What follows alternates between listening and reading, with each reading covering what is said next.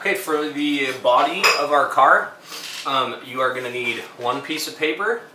Um, you're going to need some tape to tape up the body of your car.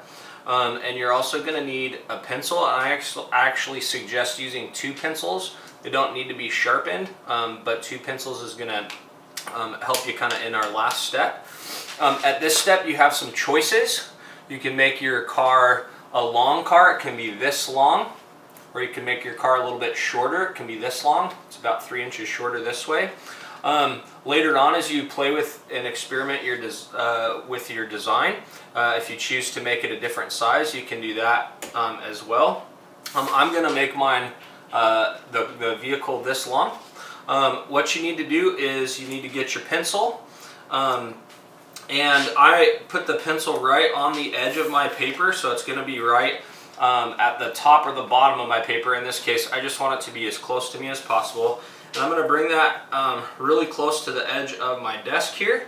Um, and then I'm going to roll this uh, piece of paper and you're going to notice when I roll it, I'm going to actually roll it pretty slowly because this first step is going to provide a lot of structural strength for your vehicle um, when there's a rubber band stretched across it.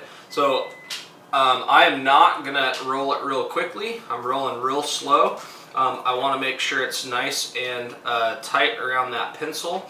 Um, and that just provides a little bit of structure for me. And I'm just pushing back um, a little bit at a time, really, really, really slowly trying to get um, my uh, body as tightly as I can.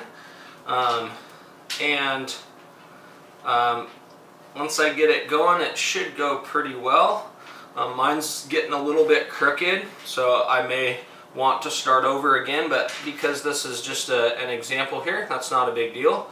Um, and now before I am going to actually uh, tape this, I need to take that pencil out, which is why I use a second pencil. And if it is tight in here, it's going to be a little difficult to get that pencil out. Um, let's see if I can do that there. Okay, so I've got the pencil coming out one edge, oops, and I just pulled the eraser off. Let's try that again, see if I can uh, put a little bit more pressure there. Okay, give me a little more to grab onto. Okay, now my pencil is out, and um, it's time to tape, and I really, really want to keep this as tightly, uh, as tight as I can, so you may want to um, have a partner help you with the taping phase. Um, so just take a little strip of tape and I'm going to place it um, uh, going kind of long ways so that I can wrap it around and that also is going to help make sure um, that the roll stays really tight. Um, one of the things as you're doing this you need to be careful that you're not squeezing too hard um, or else the roll is going to collapse. Um, and that can be a little bit easy to do when that pencil is no longer inside. Um, so again, I'm just putting some pieces of tape um, along that and I'm almost done. I've got one more piece to go. Once I get a couple on there, it should hold pretty well.